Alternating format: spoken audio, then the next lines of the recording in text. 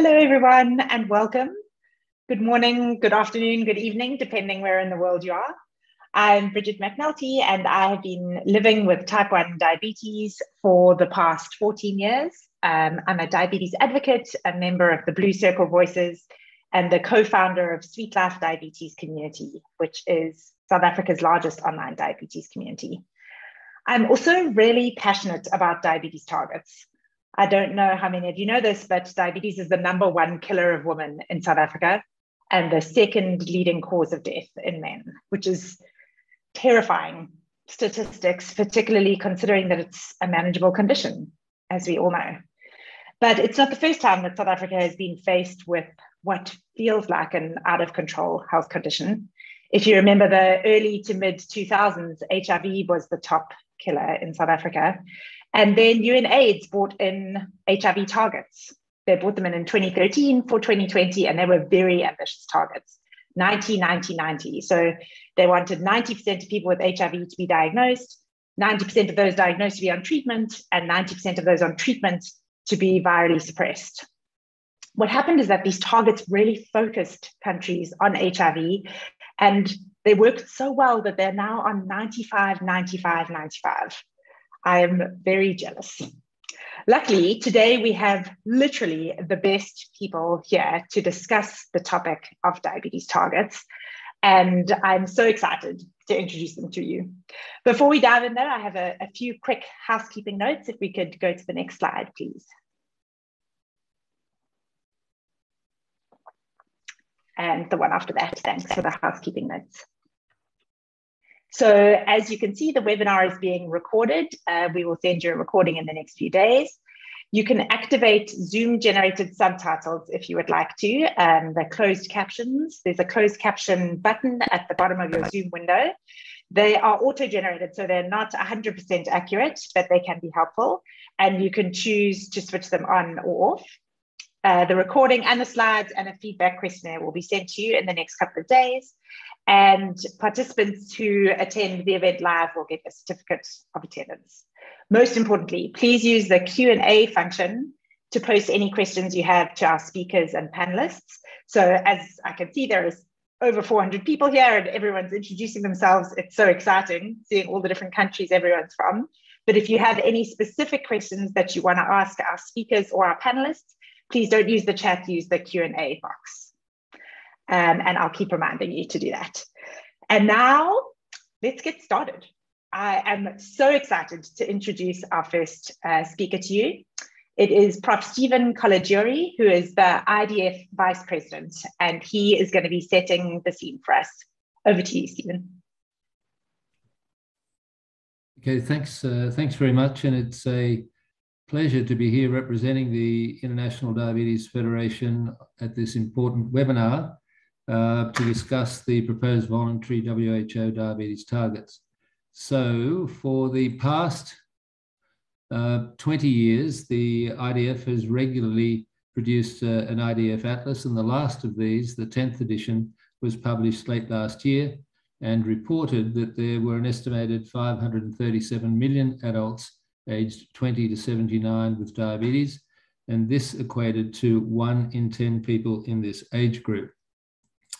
Considered by IDF region, the largest numbers are found in the Western Pacific and the Southeast Asian region, and these uh, reflect the large populations of China and India. But in terms of prevalence, the largest uh, numbers are in the Middle East and North Africa region, where one in six individuals has uh, diabetes, and in the North America and Caribbean region, where one in seven people has diabetes. The first atlas, uh, published in 2000, estimated that there were 151 million people with diabetes, and this has increased to 537 over the 21 years, and that uh, means that there's nearly 400 million more people with diabetes than there was in 2000. The 2003 Atlas uh, predicted that in 2021 there would be 333 million people with diabetes, and the actual numbers are 200 million more than this. A significant proportion of people with sorry, a significant proportion of people with uh, diabetes are undiagnosed, uh, some 45% overall. But in the African region, the Western Pacific region, and the Southeast Asia region, there are more than 50% who are undiagnosed, and the lowest proportion, less than 25%, is in the North America and uh, Caribbean region. Now, in addition to the people with diabetes, there are some 860 million people who are at high risk of developing diabetes. These include 540 million with impaired glucose tolerance and 319 million people who have impaired fasting glucose. Now, there are a number of reasons why there has been this increase in the number of people with diabetes, and they're not necessarily all bad. So, for example, there has been an increase in the world population. So, in the age group of 20 to 79, over the last eight years, there are more. There are 0.5 billion people more in this age group. Also, in general, life expectancy has increased, and this also applies to people with diabetes. So, people with diabetes are living longer. Also, there seems to have been a shift in the percentage of people with undiagnosed diabetes. So between 2017 and uh, 2021, uh, about 5% less people with undiagnosed diabetes. And I mentioned these are good reasons for the numbers increasing. But the biggest driver of the increase in numbers are, are new people developing diabetes, which probably accounts for about 80% of the increase. But even here, the news is not all that bad. So the 2021 Atlas for the first time reported incidence of diabetes, so the number of new people developing diabetes. And uh, the incidence of uh, type 2 diabetes is either falling or stable in many high income countries. So, for example, at the top of this graph, you can see data from the US in which the incidence uh, or number of new diabetes has increased, but then has fallen. And this is repeated for many countries from about 2010. There are some exceptions, such as Canada and, and Singapore in the middle. Now, this is possibly due to the success of prevention strategies implemented in many countries, but it uh, may also be influenced by other factors, such as the ratio of diagnosed to undiagnosed people. Now, the situation with type 1 diabetes is that there is an estimated 1.2 million uh, children and adolescents up to the age of uh, 20 who have type 1 diabetes, and approximately 150,000 uh, children in this age group are developing diabetes uh, each year. And unlike type 2 diabetes, the incidence of type 1 diabetes is increasing, not decreasing. There's also the challenge of hyperglycemia in pregnancy, and approximately 16.5% of pregnancies each year that result in a live birth, some 21 million pregnancies are associated with some form of hyperglycemia in pregnancy, most commonly gestational diabetes. So, if we turn now to diabetes care, there are three main focuses in terms of reducing the burden, and that is preventing people developing diabetes, the early detection of undiagnosed diabetes, and improving the care of people who have diagnosed diabetes, all with the aim of preventing or delaying the complications of diabetes, the micro and macrovascular complications that we're all familiar with. With regard to diabetes care, there are three main domains which relate to processes of care like uh, having regular examinations, having availability of essential medicines, intermediate outcomes such as control of HbA1c, blood pressure, and lipids, and the long term outcomes, the complications that I mentioned, and also premature mortality. Now, it's well known that care is suboptimal for people with diabetes, even in well resourced health systems. And even in these well resourced health systems, the individual intermediate outcome targets are achieved in only 50 to 70%, and only about 20% of people with diabetes meet all recommended targets. And the situation is worse in people living in low and middle income countries. So, when it comes to um, considering or trying to summarize the situation with diabetes care, we often refer to the diabetes rule of halves. So if you take all people with diabetes, approximately half of those are actually diagnosed. Of the people who are diagnosed, only half of those received recognized processes of care, like actually having a regular examination, measurement of HbA1c, and only half of those actually achieve the treatment targets. So clearly, there is a big challenge in trying to increase these numbers to reach levels that will actually impact diabetes care. And as mentioned by Bridget already, targets are an extremely important and essential element in improving care and achieving outcomes. So, in, in summary, then, I think the key messages for this introductory talk are that I think we'd all agree that diabetes is a major and increasing global challenge, and it's actually been made much worse by the uh, COVID epidemic, pandemic, which is still with us. Targets are essential for setting goals and for guiding the interventions for reducing the diabetes burden and improving outcomes. But it doesn't stop there. There are some other important components, such as developing and implementing strategies to achieve the targets, and also the regular monitoring and reporting on the progress in achieving targets. And I'm sure that we're going to hear more about this during the course of this meeting. So with that, thank you very much. Thank you so much, Prof. Colagiuri. That is fascinating. The numbers are staggering, aren't they? And I agree with you that the targets are one essential step because they focus us on, on what is really necessary and hopefully get countries to prioritize diabetes. Next up, we have a fascinating talk from Dr. Bente Mikkelsen. She is the director of the WHO NCDs division and will be speaking to us about diabetes in the global agenda accelerating progress towards 2030. Over to you, Dr. Mikkelsen. Thank you very much. And first of all, I want to warmly congratulate IDF. Uh, you know, we have been able to do together uh, real acceleration in the awareness and interest for diabetes in WHO and through WHO the last two years. But you have been really pushing this hard for years. And the atlas that you have been providing, all the figures that you showed now, is absolutely essential. So, uh, good morning, good evening, and uh, good day to all of you. And I'll just uh, tell you a little bit of what the WHO is doing. So, if you give me the first slide, please.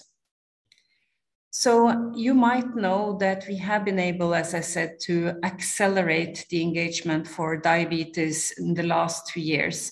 And the way we are doing this and the aim for this is, of course, to accelerate the progress towards 2030 in all countries. Next slide, please. So we launched the Global Diabetes Compact, and this was really something coming from the constituencies like IDF, like UDF, and all the people, WDF, all the colleagues and friends, you know, online but also the people living with diabetes and the healthcare workers uh, together.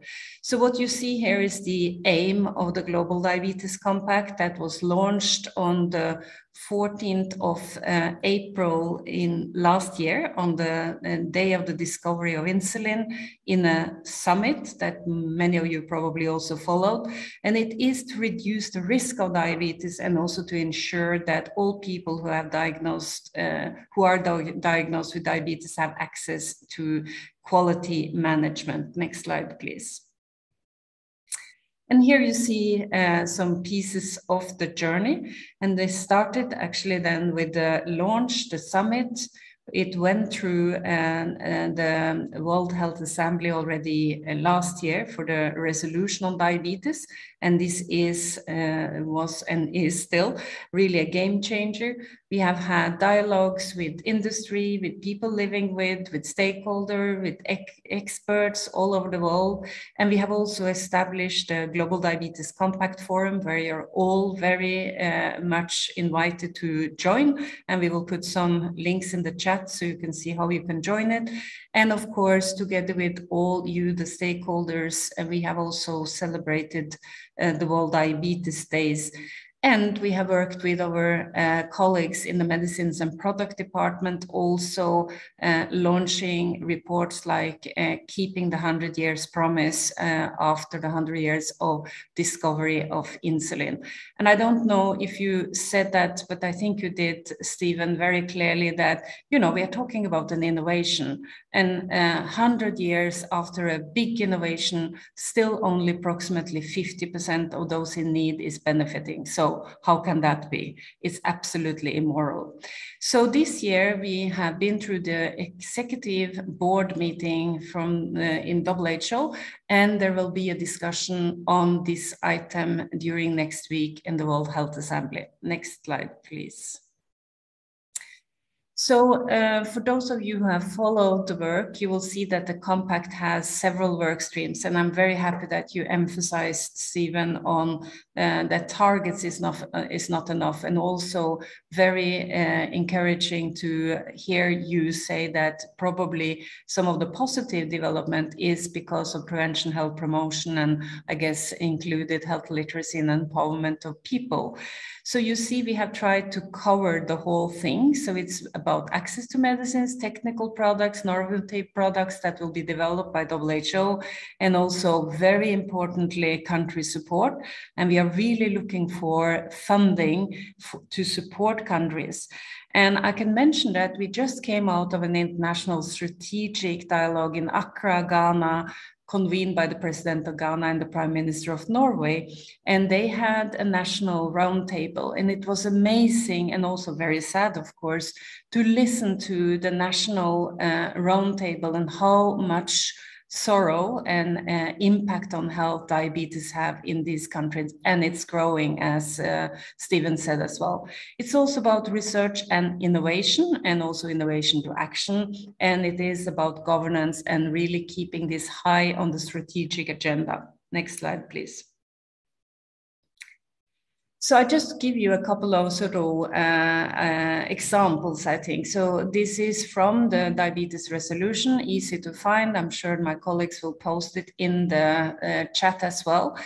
So what you can see here is that the member states really asked us, and this is uh, very much a pleasure for me to tell you, that uh, eventually, you know, the people suffering from NCD and especially diabetes during humanitarian emergencies are really getting the attention that they need. So we were asked to include also uninterrupted treatment of people living with diabetes in humanitarian emergency. Unfortunately, we already got a chance to prove this uh, because of the war in Ukraine. I will show that in the next slide.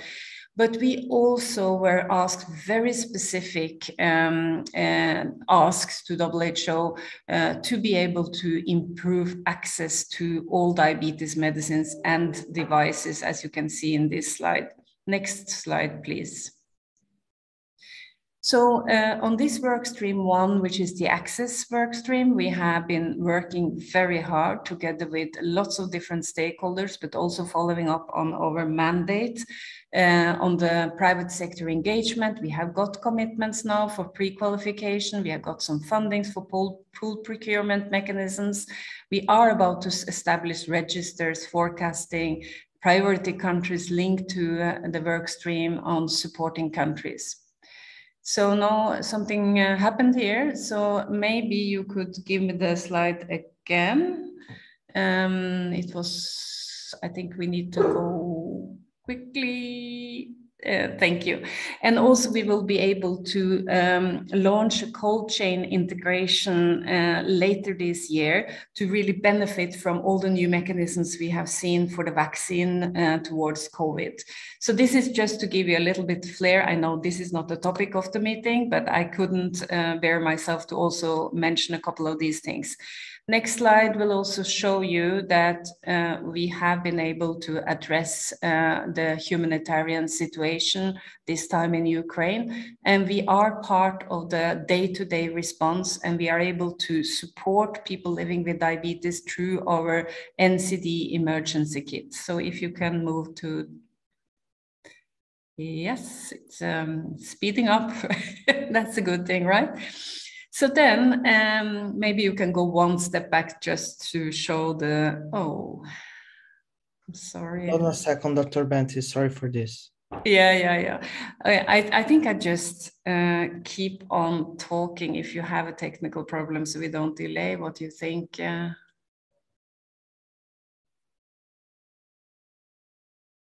let's give it one more chance, right?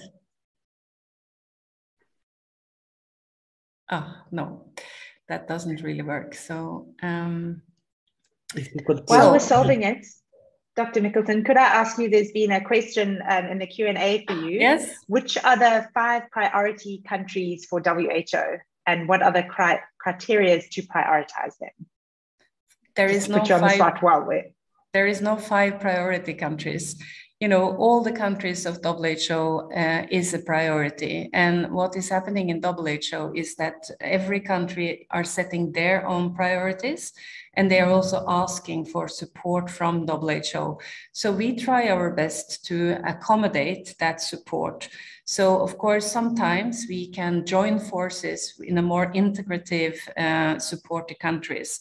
So we have uh, five countries really having a long stand, stand commitment on integration, while we have other countries only working more through the lens of cancer, diabetes, and so on. Mm. So it's really uh, up to the countries to flag their priorities and since we are in this meeting, I wouldn't call it a family meeting, but because now we are 500 people, it's a huge family at least. But you know, it's very much also uh, up to civil society and, and academia, other stakeholders to help and support the countries to be very sort of specific in their demands. This is a very important thing that we could learn. You were mentioning HIV.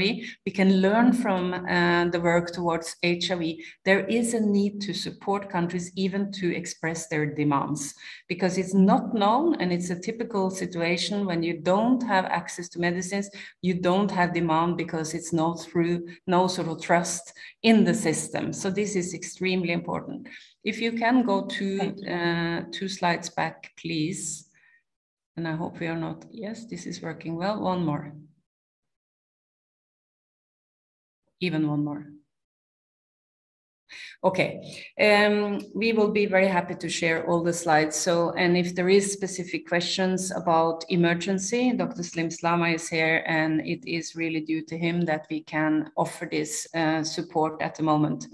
So now I will just go back to the real uh, focus on this meeting, and that is to uh, uh tell you a little bit about the development of the targets. So it was a big discussion during the um, World Health Assembly, uh, and eventually uh, you saw that we were asked as part of the recommendation to also come up with targets. And why uh, did the member states agree to this? Uh, it was, of course, because of figures that uh, Stephen was mentioning in the beginning and the new development and also the absolute lack of uh, achievement for the 30% reduction in premature mortality from non-communicable diseases and an understanding that diabetes is the most uh, rapidly increasing diseases and also unfortunately have an increase in premature mortality. So really an urgency, something had to be done. And it's also then because of the new commitments uh, coming through UHC that uh, all people should be covered by essential services through universal health coverage. We knew that we had a huge treatment gap, and it was beautifully set out by, again, Stephen, and also a, a, gap when it comes to diagnosis. And it was the strongest ask from all our experts and non state actors, and really echoed by the people living with, because there is a need to be able to speak together on some targets. We can speak about HbA1c, but it's not really speaking to people living with healthcare workers, maybe, but not policymakers. So um, next slide, please. So that was why we got this agreement. And we have done this as we always do in WHO, and we have the experts on this call as well and in the panel. Uh, so we had a technical expert consultation, global web-based consultation to all stakeholders, UN agencies. We had consultation informally with pharmaceutical uh, industry, and we also had with civil society, academic institutions, philanthropies, people living with, and then eventually we submitted a draft recommendation of the targets, and it was included in the executive board paper that you have already seen. So that brings us to May 2022. So next slide, please. And just for your information, of course, you know this, most of you, but what will happen next week is that it's the meeting of the 194 member states instead of only the 34. And we have been in constant dialogue with them. And I must say that so far, we have seen uh, support. There has been some technical questions. We have answered them, and I think people are now very uh, happy. But uh, it remains, of course, to be seen, and we hope for uh, uh, an approval as expected next next week. Next slide, and I think that's my last one, and that's of course the crucial ones. So this is the proposed uh, global di diabetes coverage targets. So you can see here that it is about the 80% of people uh, with diabetes are diagnosed. And we saw already that this is a need. It's also those diagnosed having a good control of uh, glycemia and that uh, people uh, diagnosed also have good control of blood pressure. And it goes without saying that we are not thinking in silos. So of course, all our work on hypertension is as relevant uh, as it is uh, the other way around. So even if we present it like this, we know exactly that this has to come together in the primary health care and the strengthening of that primary health care and also secondary care, of course. Then the 60% of people with diabetes of 40 years of older receiving statins, and 100% of people with type 1 diabetes have access to affordable insulin treatment and blood glucose self monitoring. I think this is my last slide. I want to emphasize again, even these targets are not the end. It's actually part of the journey. And if we don't have a health system that can actually take care of the people living with and at risk of as well um, diabetes, these targets have no uh, meaning. But the targets is a very effective communication, apart from many other things, an effective way to communicate the real need and to cascade like this and really see the lack of coverage is a question that will be of huge interest to the member states as well. Very last, in the same World Health Assembly um, that is happening next week, you will also see that there is a presentation of an obesity acceleration plan. And I think Stephen mentioned this, uh, uh, the link to obesity, of course. So you should also. I'm going to interrupt you there. So sorry. Thank Dr. you. Mikkelsen, we're running out of time. thank you yes, so much. Thank you. I mean, I could happily listen to you all day. And I do want to say, as a person with diabetes, we really appreciate how much WHO has been focusing on diabetes. And I'm going to move straight on to our next speaker and just remind everyone that if you have any questions for our speakers or panelists, you can use the Q&A function, uh, not the chat function, the Q&A function at the bottom. I'd like to invite Dr. Leanne Riley, the head of the Surveillance Monitoring and Reporting Unit from the WHO, to join us and tell us how they track progress on diabetes. Over to you, Dr. Riley. Thank you so much, um, and good afternoon, good uh, good evening, good morning, uh, colleagues. Um, already, my colleagues have said so much in relation to what I wanted to cover, but I've been asked to really address a little bit around the kind of measurement, surveillance, and monitoring of diabetes in this context. So, of course, it's hugely important not just for communication and improvement of service, um, but we really feel that having targets helps us to clarify. And there's the age old saying, what gets measured gets done. So I want to really talk a little bit about um, how we're proposing um, and what the tools and systems are in place for measurement um, of diabetes in general, but of course also these very strategic targets. Next slide, please. So I just wanted to start with giving you a little bit of a kind of context or framework for what we see as the key building blocks for, um, for diabetes surveillance across these five areas. Some are more linked to the specific targets, but I actually think all of these areas are important for having a comprehensive approach to understanding and acting on um, diabetes prevention and control. Uh, so next slide, please. And critical, of course, is for thinking through um, what are the real indicators or drivers that we need to be monitoring and measuring for progress in this area. Next slide, please. So if we're looking at these components, um, one that's not addressed by the targets but is really important is understanding what is the broader context for policy, governance, um, guidelines, and infrastructure related to uh, diabetes prevention and control. And I've really just listed out a few of these here. Going to focus less on these. I know we're trying to make up perhaps a little bit of time. So that I that those supporting um, uh, domains are, are, are, still critical for this area. Next slide, please.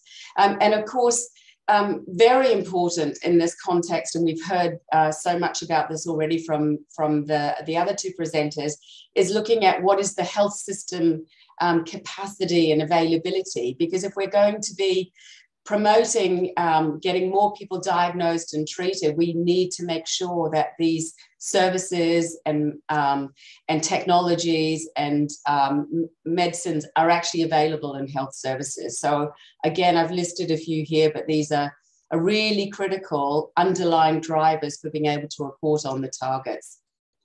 Next slide, please. And this is where we start to see also how we may actually measure and report on some of these um, the, ro- the key role in many cases for population based data um, on diabetes and related risk factors, potentially born from population based surveys, where, particularly in countries, and as we've heard about this disparity um, with low and middle income countries, where it may not be through service availability data or service provision data, we're still trying to capture prevalence and diagnosis at the population level. So we need to look at not just health service data, but how we would be able to understand that. Um, and, and as we've seen with the targets, um, also relating to people, um, comorbidity for particularly um, hypertension here. Uh, next slide, please.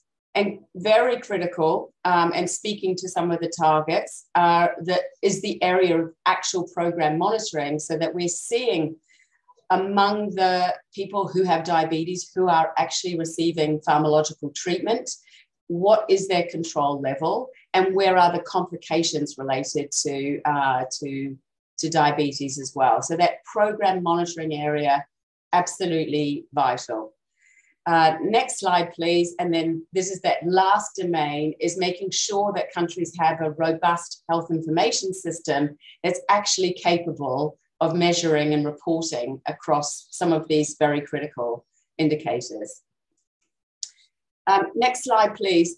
And, and now I want to just talk a little bit about some of the tools and, um, and mechanisms that need to be um, introduced, strengthened, supported in countries, because I know we've been seeing a lot of that in the chat as well.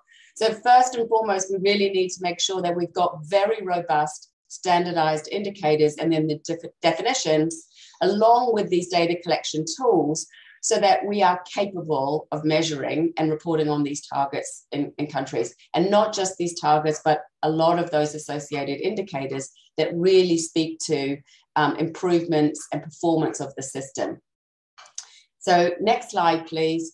Um, this is just um, a, a, brief snapshot. I'm not going to go into all of the detail um, of some of the WHO tools that we've got um, available or very soon forthcoming um, to promote the collection of data related to this area. So the first one, we're doing um, capacity assessment to look at key informant studies about availability, mostly related to the governance and infrastructure and um, policies and strategies.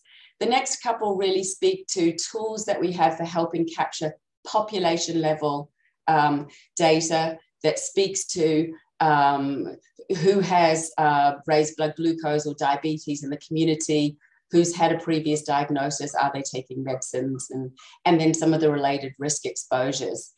Um, the next area of, um, of tools are really looking to helping standardize um, and, and, and support what the metadata for these indicators around patient and program monitoring may be.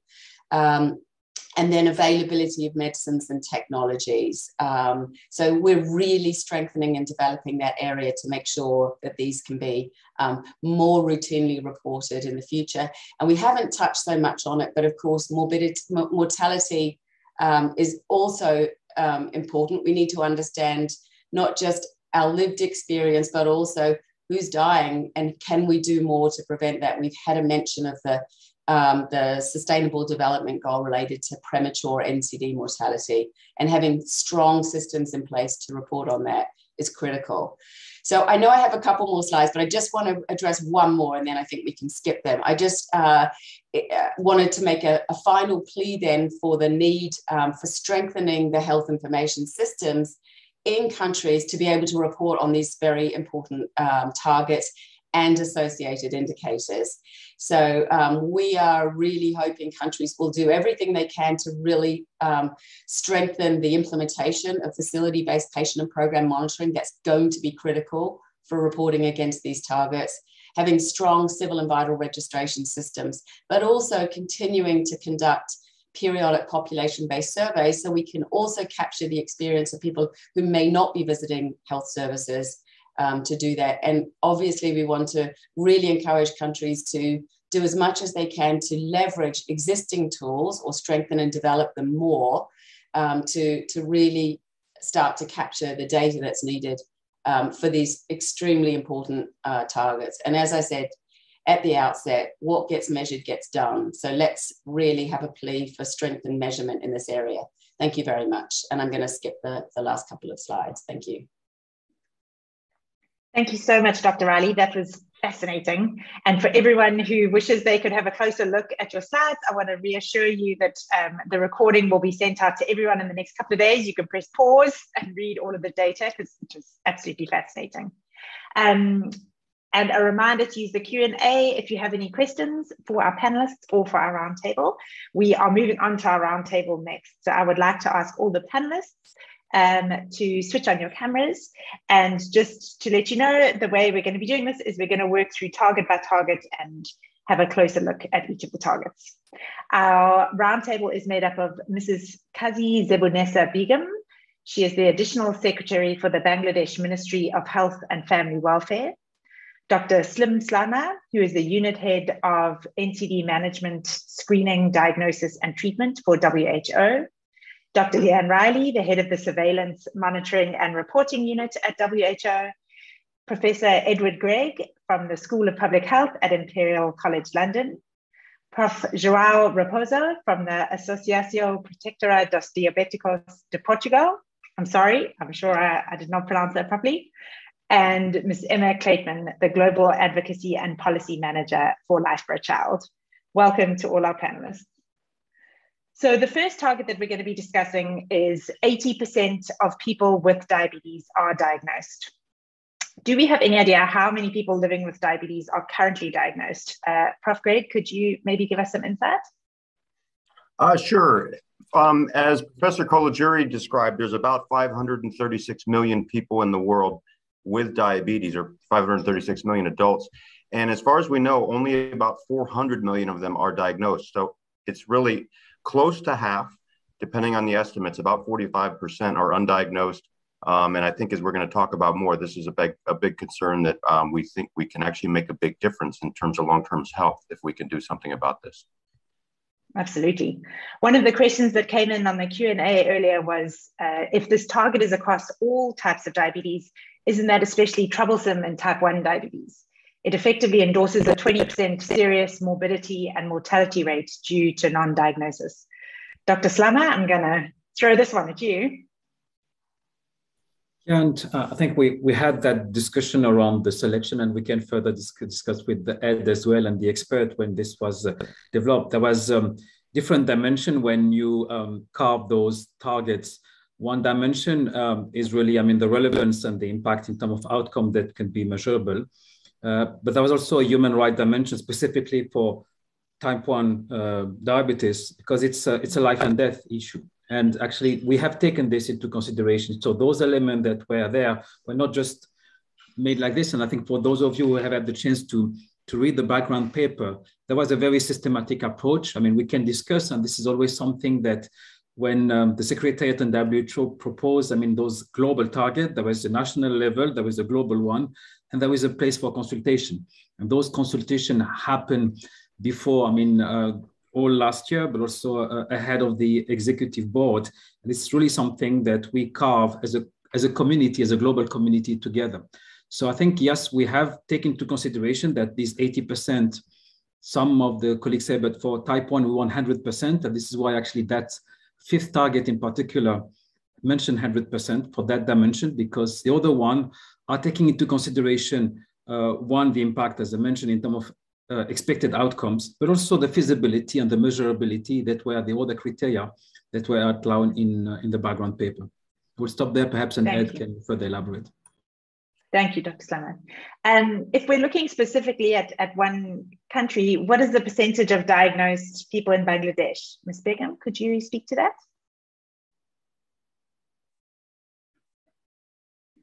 I think you're on mute. Oh, there you go. Uh, can you uh, repeat the question, please? Uh, what is the percentage of people diagnosed with diabetes in Bangladesh? Oh, thank you very much. Actually, uh, first of all, I would like to uh, thank IDF for inviting me and give me the opportunity to be here with you. Uh, yes, actually, uh, we have, um, uh, according to IDF um, report um, 2021, 57% of our estimated uh, cases are diagnosed. And still we have 43% undiagnosed cases. This is really very important and very alarming as well. South Africa is in a, in a similar situation, so I hear you. If we're looking at target two, 80% of people diagnosed have a good control of glycemia. Gosh, that's that's a big question. How do we define good control of blood sugar? So that was one of the questions that came up in the Q&A it's very dependent on the individual clinical context, age and comorbidity. So it's difficult to measure success at a population level. Prof. Raposo, can I throw this one at you? Thank you for that difficult question, Bridget. I'll, I'll, do my best. So that, that's one of the most important questions that we are keeping discussing uh, in the scientific media of diabetes and even in the consultation daily, in a daily basis.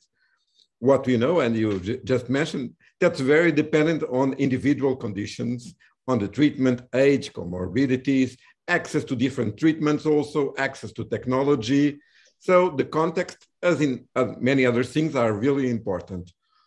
But we know for sure that imagine A1C levels above 8% for those countries that are using 8%, in my country we use the percentage. Well, for sure, most of those people are not well controlled. So from a population perspective, we can easily choose 8% if you want to be very ambitious 7.5% not and we should be very cautious telling people that that's not their individual target but that's when we are analyzing the global population of a country of a region of a, a health facility we don't want to have people above a certain level consider the 8% level because those for sure are in poor control or most of them are in poor control. And at least we should take care uh, another look at those people. So it's not individual process it's global population and be sure to keep that message when taking care of the people that's a very valuable distinction thank you prof Raposo. if we look at the current percentage of people with diagnosed diabetes who have good glycemic control do we know what that number is? Prof. Gregg, do you have an idea for us? Sure. So, and I think um, Professor Raposo's point is key is that these are not clinical guidelines. These are population-based monitoring guidelines. And so the proportion that are meeting, the, the proportion that are meeting 8%, we think around the world is about two thirds, okay? However, if we were to use a clinical guidelines that many countries use, which would be lower than 8%. It's actually much smaller than that. We chose 80% because we think it's both ambitious and achievable. And that if we can achieve that, then we're going to really reduce the, the morbidity that follows from diabetes. I like that as a phrase, ambitious but achievable. It's it's it strikes the right kind of balance. Um, if we look to Bangladesh, um, Begum, does the Ministry of Health of Bangladesh know the percentage of people with good glycemic control?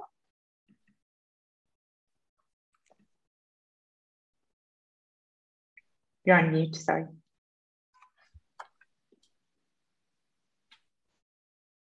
Ms. Begum? You're on mute.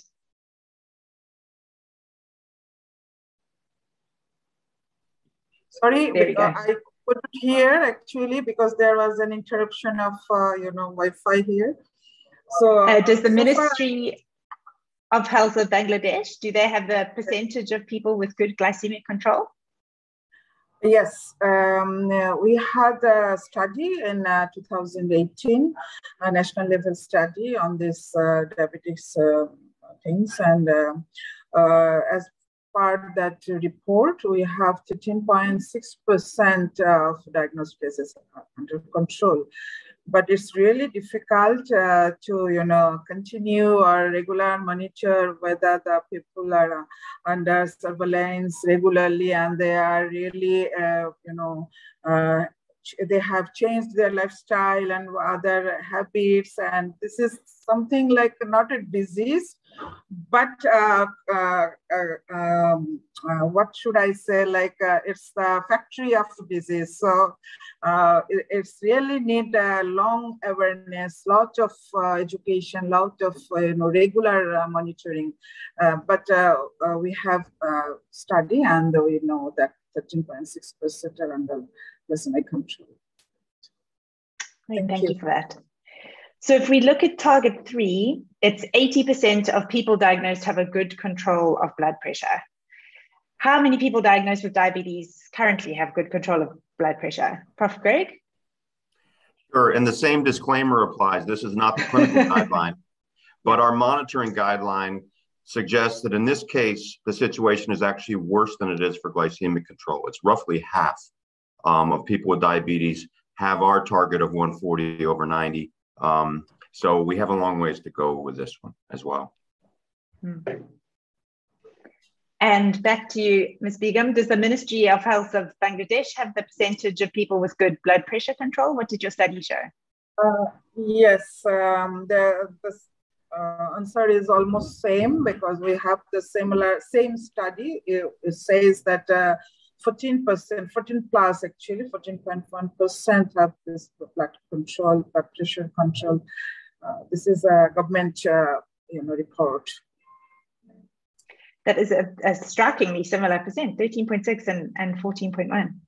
Um, yeah. How can this target of 80% of people diagnosed having a good control of blood pressure, how can it improve the lives of people living with diabetes? I'm throwing this one back at you as well, Prof. Gregg, but don't worry, we're going to give everyone else a turn soon. Sure. So, well, the nature of diabetes is, is it leads to many different conditions, of course, and blood pressure happens to be one of the fundamental roots that complications develop, whether it's retinopathy, stroke, heart disease, um, you know, acute complications, congestive heart failure. So if we can influence blood pressure, we influence that progression to many different conditions that result from diabetes. Great, thank you so much. I just wanted to um, focus a little bit more on, on the first two targets. So, so now we've looked at 80% of people with diabetes are diagnosed, 80% of people diagnosed have a good control of glycemia, and 80% of people diagnosed have a good control of blood pressure. I wanted to um, see if we could ask Ms. Clayton from uh, Life for a Child, if she'd like to contribute, particularly on the 80% of people with diabetes are, are diagnosed. What, do, what would you like to add? Thank you, Bridget. And I hope you'll excuse me in, in my approach here. I'm going to be really stripping back to basics here, just because um, I think that's quite essential from a sort of living with um, type 1 diabetes and uh, an LMIC perspective. So I will be very blunt about this, at least from a type 1 diabetes perspective. It is so important we feel that all people living with type 1 diabetes diabetes are diagnosed so that they can fulfill their rights to life and that they have good lives, actually.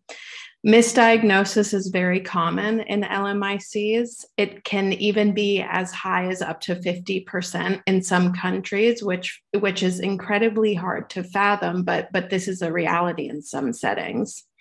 We have heard so many horror stories about misdiagnosis. We've heard of situations where young people living with undiagnosed diabetes come into hospital with all of the classic symptoms, but are being diagnosed, excuse me, with ectopic pregnancy or malaria, and the list does go on.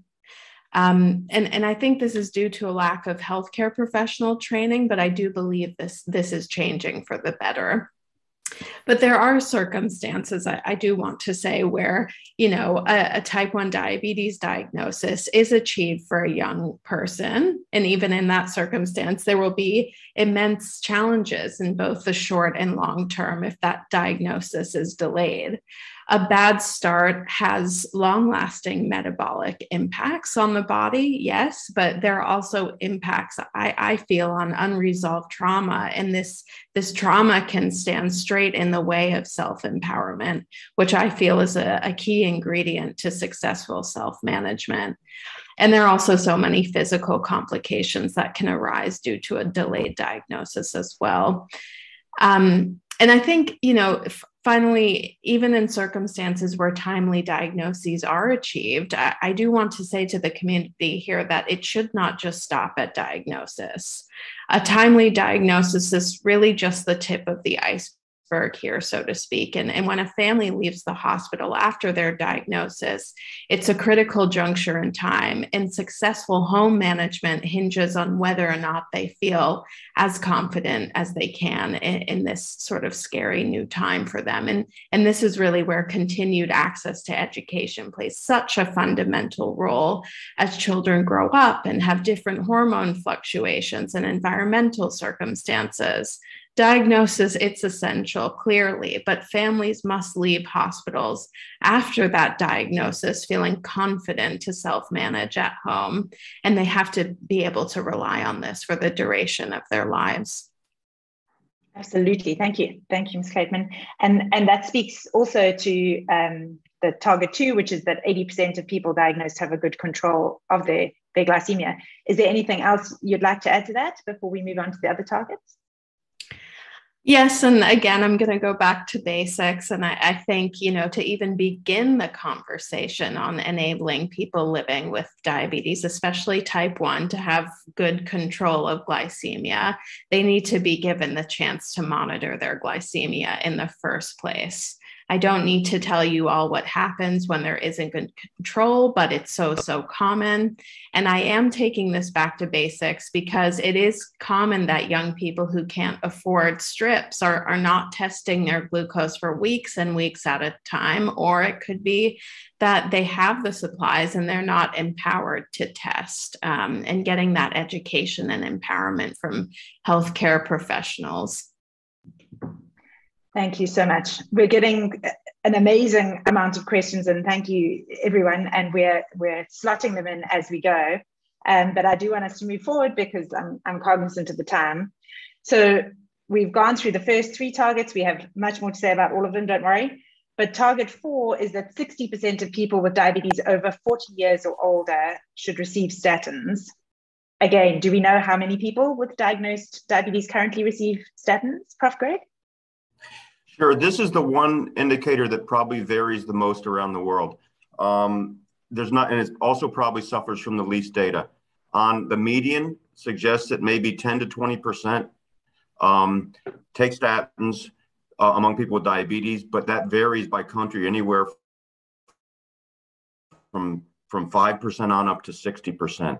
Um, so that's why this target is a is a, a bit lower because to try to be ambitious but also realistic, we we set a target that um, we felt that countries that are at five or 10 or 20 percent to achieve 60 percent would be very ambitious, and if they do it, it'll make a big difference on cardiovascular risk for people with diabetes. Great, thank you. So if we look at these first four targets, 80% of people with diabetes diagnosed, 80% of those diagnosed have a good control of glycemia. 80% of those diagnosed have a good control of blood pressure, and 60% of those with diabetes over 40 years or older receive statins. Why are these important to improve the lives of people living with diabetes? Um, Ms. Clayton, I'm going to throw this one at you first. Oh, you're on mute. Thank you. Thank you, Bridget. Um, uh, I mean, you know, as I took it back to kind of that first point about even having access to um, glycemic management tools in the first place, um, is because I think test strips are such a cornerstone and, and foundation for type 1 diabetes care you know, insulin, in my view, for comparison's sake, is like a television, and test strips are like the remote. You can't use the TV if you don't have the remote. You can't change the channels. You can't even turn on the TV. And I think it's clear that, you know, it's so, so, so clear. I don't need to say that insulin is the most essential medicine for a person living with type 1 diabetes, but without test strips, insulin can only go so far. And I think we all now know that, you know, living through a pandemic, without diagnostic means having no control and an mm-hmm. unbearable really amount of anxiety with no clear horizon for hope. And this is a very scary place to be when you have type 1 diabetes. So i think you know it's it's so important you know to have those glycemic tools there in the first place. And to I'm, I'm sure we'll get into discussion later on on how we can encourage governments and the the private sector and other actors within civil society to get there. But I, am going to bang this drum again that to get good glycemic control, we need to pull levers that facilitate access to, to glucose monitoring tools. Absolutely. And I love that analogy you've drawn of insulin being the TV and testing being the remote, because that also helps people not living with diabetes understand how integrally they relate to each other. But like a new TV that doesn't have an on off button that can only work with the remote. Dr. Slama, could you speak to us about why these four targets are so important to improve the lives of people living with diabetes? Well, everything we do start with the people at the center. So I think uh, what Emma just illustrated is that uh, in order to be able to carve a global response, a national response, uh, we need to understand first uh, what what are the needs? And from a scientific point of view and you have seen from from ed uh, statements is that there are a number of elements that constitute effective care. I think whether from a clinical perspective from a people-centered perspective there are i mean in those targets are important entry point to define how we live and maintain a life without complication without uh, morbidity from a national or, or, or, program monitoring perspective. But at the center is really people that are still active, can participate in the society, as Emma mentioned, without the fear that you don't have access to medicine or diagnostic tools. So what I would like to see in this discussion on, on the targets, the target, we propose them as an entry point. Uh, but as you have seen, the recommendation were on strengthening national diabetes response that we have submitted to the executive board. And the vision of the compact goes beyond the target, but in understanding that these are important entry point for driving quality improvement specifically on diabetes care. But I think there are uh, other elements within the dialogue that we have with our member state, with stakeholders uh, and communities around how we improve diabetes prevention and care. And I have seen in the chat a lot of comment on prevention, on uh, uh education, all those elements are here. I mean, of course, we are discussing here mainly the, the focus is on the target. I think the target are important drivers uh, and are, are focusing the action on specific element where we see that there might be an improvement and um, somehow a, a, move from the trajectories because at the end of the day, all our objective is to make sure that countries and uh, population um, in terms of mortality are on track uh, to reach the SDG and they're clearly not at the moment. But I think this has to go with improvement at the level of people first, but also at the level of countries that they can report at the global level. And I think this is where mm. the target can guide those actions. Thank you, Dr. Slama. Prof. Raposo, do you have anything else to add? Why these four targets are important to improve the lives of people living with diabetes? Yes, I hope you can hear me because I'm with poor connection now. I don't know exactly why, but it happens. So. We can hear, no problem. Oh, okay. Thank you for that. So just uh, going on, on the comment that Dr. Slama has just made it, I think we must be careful not to just focus on these targets, but to check what are they for, because we can use it in many different ways. And we know that diabetes care is just not about governments, it's just not about health policies in global, but it's also about the civil society involvement. That's why IDF is also representing here, and I'm part of uh, a APDP, the Portuguese Diabetes Association. But it's about also individual involvement, and it's good to have some leads to the society to say, okay, we should fight for a common goal like these ones, but these are not the only ones. And I fully agree with most of the discussion that we can see on the chat but we have to have a common ground to discuss to do a kind of market share for, and we know that's that's usually not so fair for most of us, but it's we should start that discussion and we should have tools for that discussion. And we should commit all the society for that kind of global target to have better care for people living with diabetes. Otherwise, we know that diabetes represents that threat that all of us know so well. And we know also that that's not just that what we are discussing here, it's only a part of the burden caused by diabetes. We are not discussing many other dimensions of the burden caused by diabetes. I think we are all aware of that. We, are, we try to simplify this approach here, mm-hmm. but even so, as Professor Gregg has said, it's quite ambitious, and, but we should have these, and, and they are really important. And just a short comment on, uh, on the target on hypertension because mm-hmm. For many, many years, the diabetes community has been focused on glycemia, and that's still very, very important. And then we start that discussion saying that diabetes is just not the glucocentric approach, it's more, much more than that. And the cardiovascular risk and target organs are really important on diabetes. Uh, and so the reason for the numbers being so different probably between the glycemic control and hypertension control, it's also because of the awareness of the relevance of having this target control for people living with diabetes.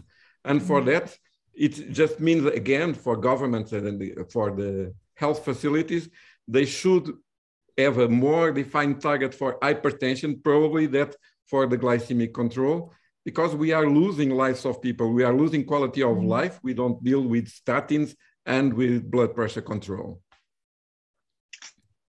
Great, thank you. So interesting to to have to consider. It's it's like holding all the different puzzle pieces at once, isn't it? Um, Dr. Riley, a question for you, please, from our audience.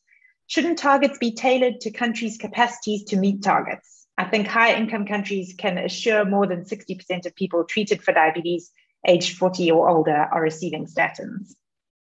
Yeah, great question. Um, I, I, think we want to stress that these are, are global targets. Um, so we strongly encourage countries to consider developing national targets based on their own national situation and build on these uh, global targets for, for coverage. So the national targets could, could be more or less ambitious than the global ones.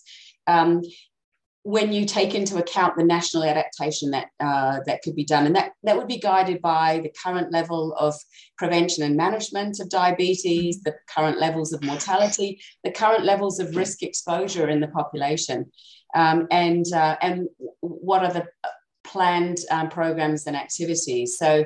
Um, so we want to encourage this flexible approach because, as you say, it really does depend a little bit on national situations. But we wanted to peg where we think most countries' ambition should be. And as, um, as Ed stated at the beginning, these are ambitious but achievable um, with investment and support and, uh, and action. And we really want to encourage countries to, to move towards those. Thanks. Great, thank you so much. And I think that's also what's what's helpful to look at these targets as a focusing tool. We're not saying this is it and everyone has to only meet these. We're saying let's focus on achieving this and then maybe it's done in two years' time and the, and the target can get greater. So I want us to move on to talking um, about target five because it's a very important one. Um, but I just want to acknowledge all the questions that keep flooding in. We, we really appreciate the incredible engagement that's happening here.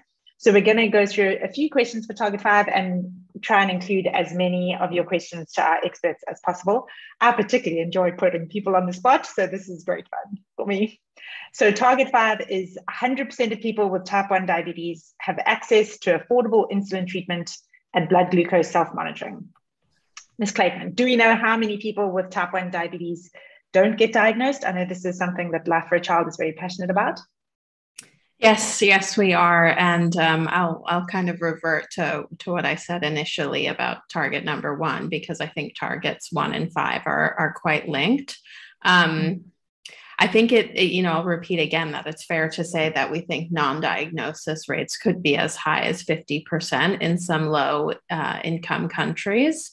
Um, but we're extremely excited for uh, the launch of the T1D index, which will be such a novel tool in, in the first of its kind and, and so rich in data um, to be able to, to um, you know, expand upon this. And I think, you know, with this information now known, I think I think governments have such a moral obligation, and uh, the, the private sector as well are under a moral obligation.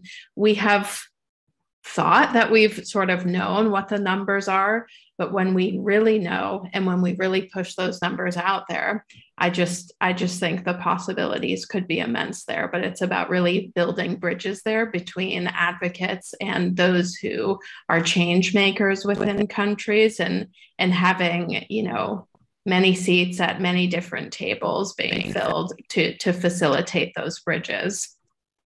Thank you so much. And, and seeing as we're talking specifically about type 1 here, could you give just a one or two line intro of what the T1D index is for those who don't know?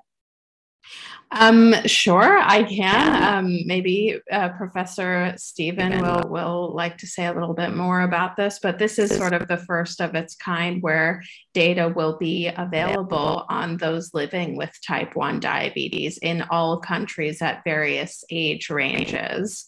Um, and it is an immense tool that is building on, you know, all of uh, adding to all of the rich epidemiological data that already exists.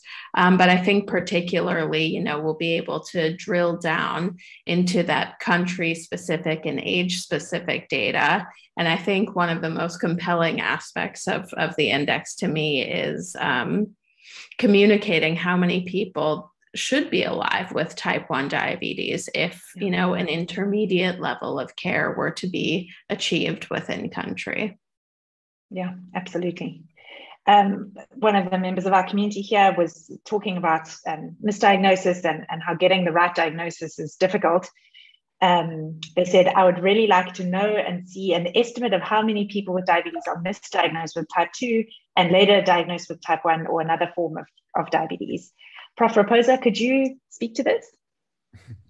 Well, I, I can try because there are some publications uh, made on that, but it's also a tough question because it really depends. And we are discussing access to medication, access to testing, but it is access to diagnostic tools. This misdiagnosis between type 2 and type 1 diabetes means that a part of a highly suspicious clinical uh, from the clinical suspicion from the doctor, we have, we have to have access to laboratory tests measuring autoimmunity, antibodies, other kind of tests. And we have just anecdotal data throughout the world saying that perhaps 20, 25, 30% of the people diagnosed with type 2 diabetes might have type 1 diabetes. Why is that so relevant? Well, for it's the label that's also important and it's access to treatment because it's access to the better treatment at an early stage and that can make a difference and nowadays we have quite different tools for type 1 and type 2 diabetes and that's why it's so relevant to have that discussion and again discussing not just access to treatment but access to proper diagnostic tools that are still needed in many many countries all around the world mm. Thank you. Thank you very much. Speaking of the right tools for the for the right kind of diabetes, do we know how many people diagnosed with type 1 diabetes don't get access to affordable insulin treatment and blood glucose self-monitoring? Ms. Clayton? So I will start by saying that you know access to care in high income countries is not a completely solved issue. There is always more work to be done. There will always be communities that are struggling to access the care that they have the right to mm-hmm. access, but I will start by saying that access to, to test strips in, in particularly is usually not so much of a problem in high income countries. Um, but to your question, I think the short answer, at least for LMICs in our review, is that the majority of people just can't afford care uh, when it's not reliably provided by governments. And, and this is particularly the case for test strips they are simply cost prohibitive for those living with type 1 diabetes and their families to to be able to afford to purchase out of pocket. And so why do i say out of pocket? For instance that well this is because you know while some u- universal health coverage programs within lmics provide basic insulins within the health system's benefits package this is hardly ever the case for provision of glucose monitoring supplies, you know, the, the test strips. And I can recall a survey we conducted a couple of years ago, which, so, which showed over half of the LMICs surveyed um, their national health systems provided some form of insulin. But for test strips, this was around 10% um, of, of the countries providing. And, and even at that low rate, uh, those, those countries providing test strips only provide, you know, two, two or less test strips a day. And that isn't to say that you can't achieve good um, glycemic outcomes from, you know, fewer test strips a day than you might think, but less than two per day is, is not sufficient. Um, and, and, and for some more context, I'd, I'd, just like to say that we, we have carried out research on the costs of test strips um, as a percentage of GDP, for instance, and found the mean to be about 40% across LMICs. Um, and this ranged to even over 100% in some West and Central African nations. So, back to your question, I think on the whole, test strips are usually the largest cost to households uh, in LMICs for type 1 diabetes care and can, in some cases, be completely cost restrictive for families. Mm-hmm. Thank you.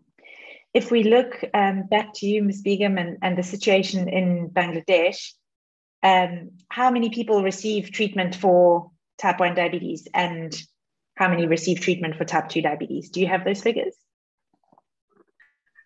Uh, well, um, in Bangladesh, actually, uh, this is a government uh, policy that no one should uh, be out of uh, this insulin uh, taking facility for type 1 uh, diabetes. So it is actually 100% we can say that everyone is getting free insulin for type 1 diabetes. And for type 2, actually, uh, I don't have uh, the um, like a number in my hand and at this moment but uh, for the diabetes we have uh, like diabetes uh, association and other hospital facilities. So there are a lot of uh, first of all we have this uh, testing facility everywhere. And then uh, they come under the treatment facility from tertiary level to the periphery level. And we have like 14,000 uh, peripheral uh, community clinics. And uh, sure. from all the clinics, everywhere, uh, the people comes with any other complications, they go for diabetes test, sugar and blood pressure test first, and then they go for other treatments. So in this way, they are covered by the, uh, you know, our facilities. Yeah. Perfect, thank you. Um, Prof. Raposo, I've been asking you a lot of difficult questions. I thought I would ask you an easy one. Why is this target important for the type 1 diabetes community? Well, it, it, it's important because it, it's a life-saving measure, uh, and that's as easy to explain as that. And just adding one comment to the, what we have just been hearing, I think when we're speaking about diabetes, we usually present those huge numbers that we have just started today in this meeting. And, and I think governments and health systems are always afraid when speaking about any kind of measure to tackle diabetes. And when we're speaking about type 1 diabetes, and that's why I think it's important to have that, that target for type 1 diabetes very, very objective here, because we are speaking in a huge number of people living with diabetes. We're thinking about 5% of people, 10% of people. And actually, and I think uh, it was Mrs. Klatman that was just speaking about the cost of this it's mm. most of the time it's not so relevant as when we are addressing measures for type 2 diabetes and we should also address those kind of measures because it's not so expensive it's cost effective and if you just see it's life saving it just means everything and it's life saving just not for young children it's like saving for young uh, youngsters adults so we are speaking about the active part of the population so when we are dealing in nowadays economy, it's all around us. So it's it's one of the best investments that you can do. It's for sure here. It's no discussion on that. And that's so relevant for people living also with type 1 diabetes, for their families, when they don't have to be confronted with not being able to provide the best care for people living with diabetes. We, as a, a part of the civil society, again, a part of the health society, we cannot accept this. So countries are really obliged to have that in their minds and provide the best care for those people also. Mm, agreed. And I want to address one of one of the big questions now. What do governments, private sector, and civil society need to do to help achieve these targets by 2030? I think it's a big question, so I'm going to ask a, a couple of people to, to address it from different elements. Dr. Slama, would you like to start? Of course, easy question to answer in 30 seconds. no, I mean, and no, I think uh, there are there are important uh, element, but I think we need we need we all have a role first of all, and the way you have addressed the question is that it's addressing different target population. And I think we need to recognize that there is um, respective uh, responsibilities in who is doing what. The first is really what we would like to achieve with our member states is to raise the, uh, the attention on diabetes as part of the NCD agenda at the highest level so that basically what we are asking for is that diabetes should receive that attention in universal health coverage. What does it mean? Availability of services of good quality without financial uh, catastrophe.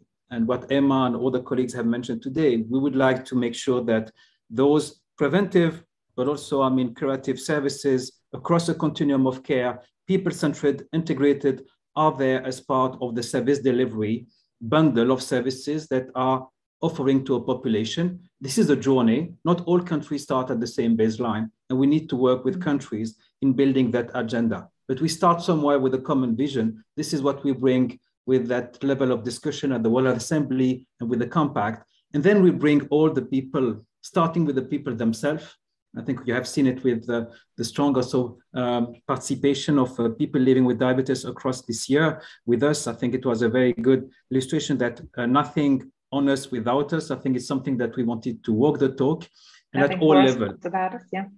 And the last point is really I wanted to share because we many of those targets are related to access to medicine. I've seen some of the chart.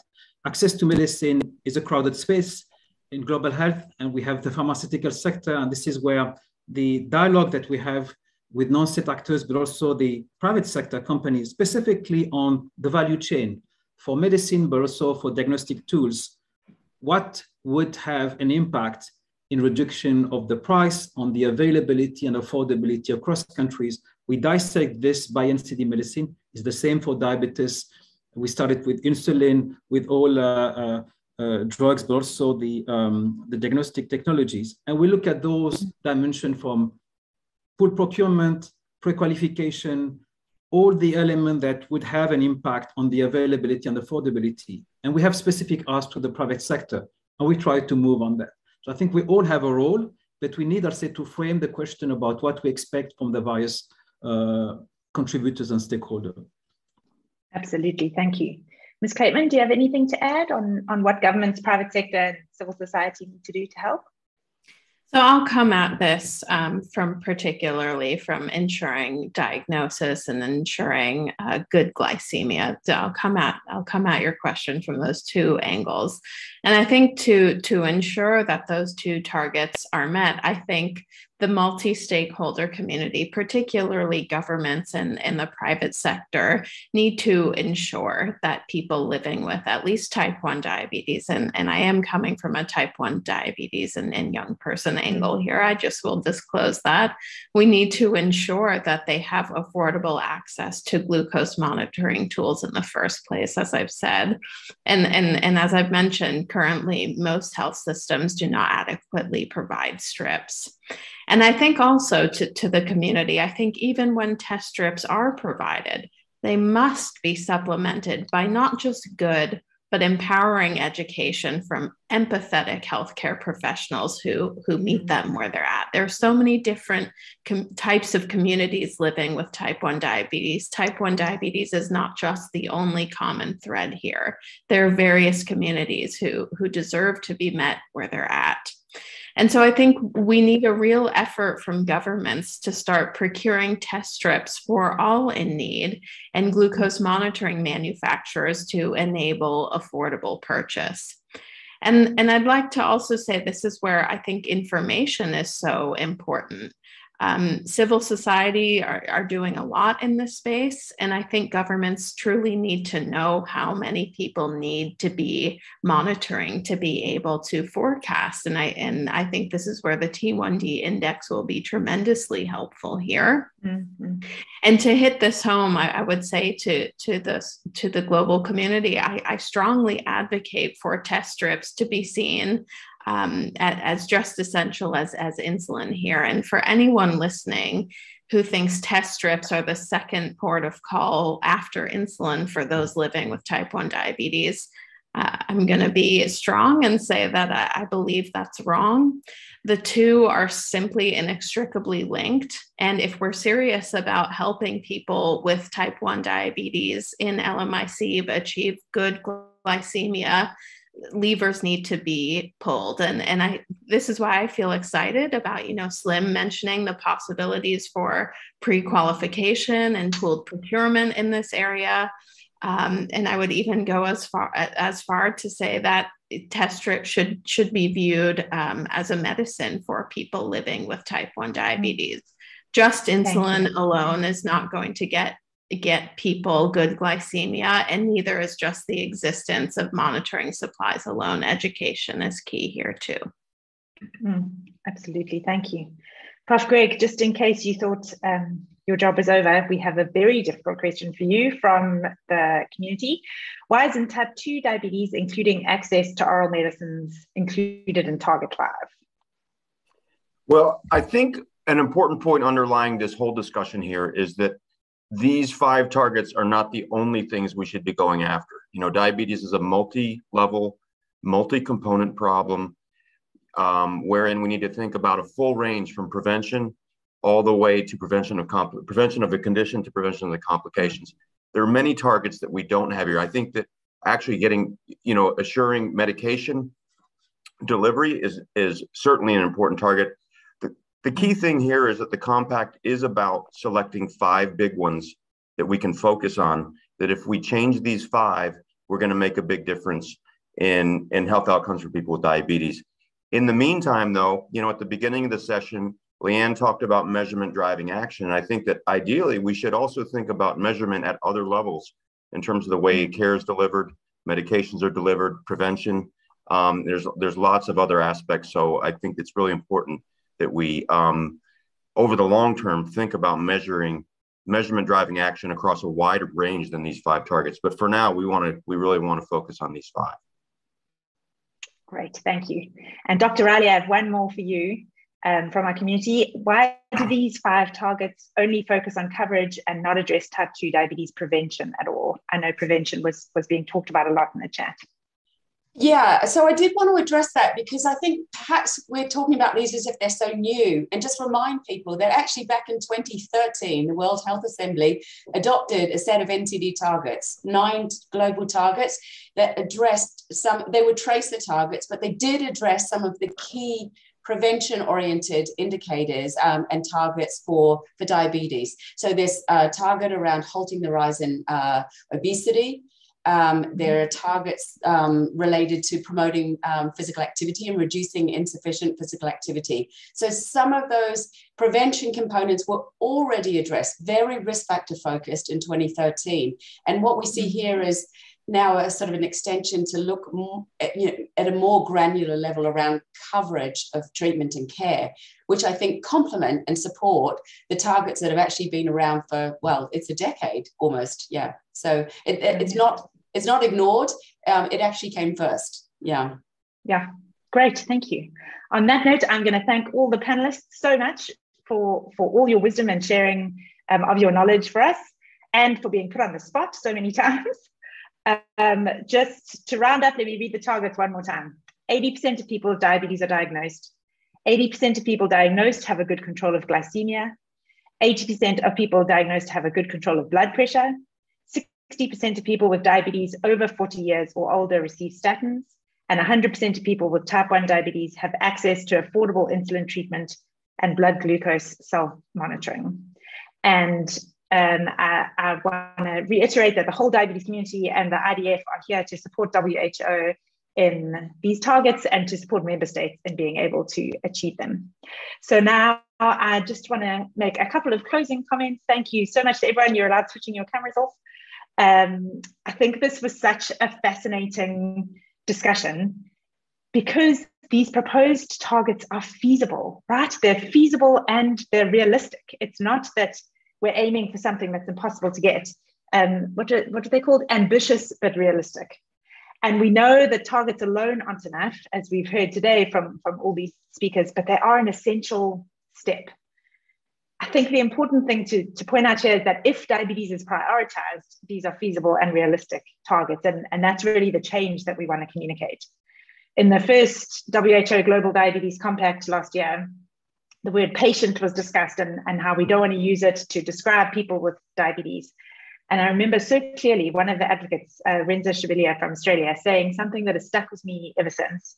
She said, Patience is not a virtue when it comes to the rights of people with diabetes. And I think we've been very patient thus far. It's, it's 2022 and we don't yet have diabetes targets, and it's time to change that. Thank you so much to everyone for joining us. Um, this has been such a fascinating hour and a half. Don't worry if, if you feel like it's all flown by, that's how I feel. The recording and slides and a feedback questionnaire will be sent to all of you in a few days' time. Please respond to the feedback questionnaire. It's, it's to help us improve future IDF online events. And if you have any questions about this or about diabetes advocacy in general, please email advocacy at idf.org. And once more, huge thanks. We have had some amazing speakers and panelists today. Thank you all for giving up your time uh, to be with us. And thank you to the more than 500 people. I think we were over 500 for the whole webinar. Thank you all for, for giving of your time and spending time with us today. Thank you very much, everyone.